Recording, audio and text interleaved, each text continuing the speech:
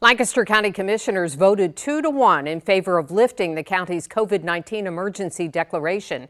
County Commissioner Josh Parsons says lifting the order does not have an impact on the community vaccination clinic at Park City Center. The emergency declaration, which went into effect last March, allowed the county to purchase personal protective equipment without bidding on it.